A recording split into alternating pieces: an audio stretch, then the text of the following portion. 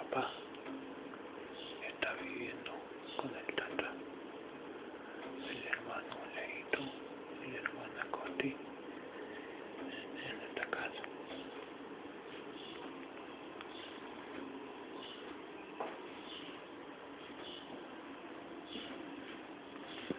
Ayer hicimos la, la mudanza.